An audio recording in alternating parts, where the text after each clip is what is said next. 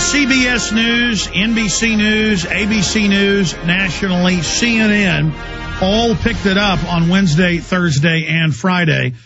I had figured out by Sunday of last week, uh, now seven days ago, that this was an important story. So I uh, decided to go Tuesday, got on an airplane Wednesday morning, Wednesday afternoon, and flew out uh, to Billings, Montana. From there, I drove to the little town of three and a half thousand people, Hardin, Montana, that borders the Crow Indian Nation Reservation. What am I talking about? American Police Force, a shadowy group run by a 14-time convicted Serb national felon who goes his latest alias. No one really knows his real name. Just has all these convictions and warrants nationwide. Seriously, no one knows the guy's real name. Uh, he just has convictions and prison time under different names for grand theft, you name it, uh, is Captain Michael Hilton. And he showed up in a police uniform with black SUVs, black uh, Mercedes SUVs with Hardin police on the side. Didn't matter if that was illegal. Impersonating a police officer was illegal because he was in with the local boss hogs and they were going to take over the giant $27 million FEMA camp. Uh, it was being looked at a year ago to hold Guantanamo uh, detainees. Uh, but now they were looking at just basically holding locals. This is the new economic development uh, in our country is prisons and surveillance and control. And uh, the locals, uh, the, that is the local constabulary, thought that it was completely normal to have a foreign felon running things. And I talked to some of the locals this week when I was there, and they said, "Eh, we don't care if he's a felon. We don't care. Let him run the, the, the prison, and you know, basically let him feed on locals and put everybody in the jail." I mean, what's 450 beds, bare minimum that facility had, 450 beds of a town of 3,500. I guess in Texas, Texas is the capital of prisons worldwide. We've got over 10% of Texans with uh, warrants out for their arrest now. So why not? Why not put everybody in prison? Hell, put half of us in prison. The other half will run things. I mean, that is the New World Order plan. But the issue here isn't just that you have this felon, this mercenary tied in with all these other shadowy groups doing this. It's that when we first reported this last week, people didn't believe us. Now it's on the national news. And uh,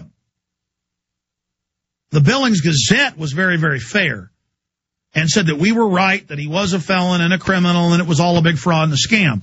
The local paper said, we love him. We love the captain.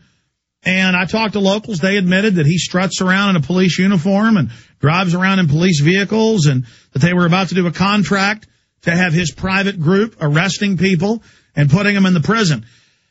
Now, the majority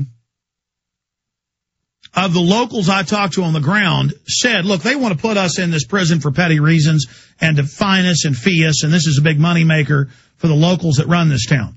But when I would go into the shops in the sheriff's department and the and the economic development zone, they call it the Port Authority, the Two Rivers group, when I would talk to their people, they just loved it. And they said it's no big deal to have a felon with warrants out for his arrest running the, the, the, the jail. And yes, we do want to plan mercenaries there, train them there. And we do plan to do that. And yes, uh, all of this is going on. All of this is happening. And yes, we're going to put people from all over the county, Bighorn County, in the prison. And yes, it's going to make us money. What's wrong with that? And it wasn't just that the, the, that the leadership of the town was so immoral, by and large. And I talked to scores of them. That wasn't the big uh, issue. I mean, that's bad enough.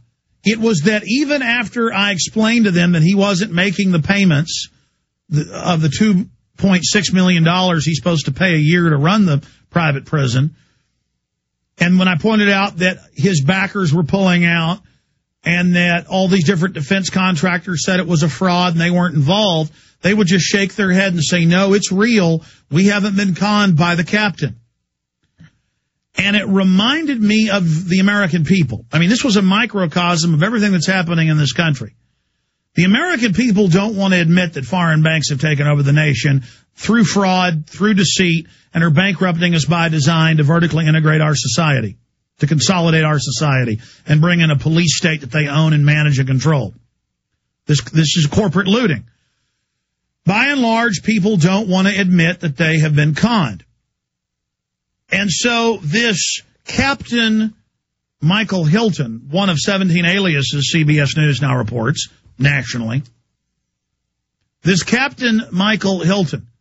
Now, now, mind you, once it came out that these were aliases, he was fake, he was a fraud, he was a liar, he wanted to feed on the locals and basically throw everybody in prison.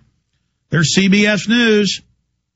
National news, American Police Force Corporation takes over small town police force and prisonerless jail.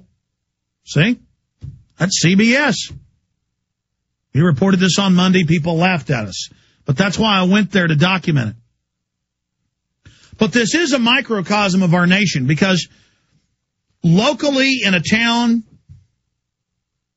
in southern Montana, a guy blows in with police cars painted up to say Hardin, and everybody just falls down and worships him.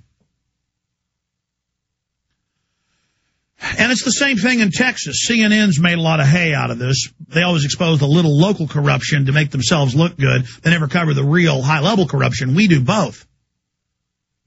That's what separates us from the mainstream media.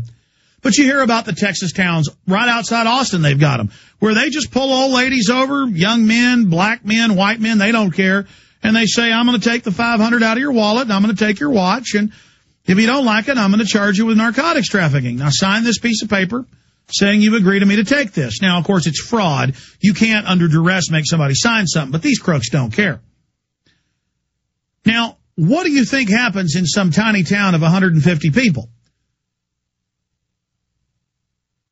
You will get a local county commissioner who lives there, and he'll get together with his brother or his cousins, and they'll pass a resolution. They'll They'll, they'll get the local town, the, the locals in the little town that didn't even incorporated to go get incorporated with the state. They'll fill out some paperwork.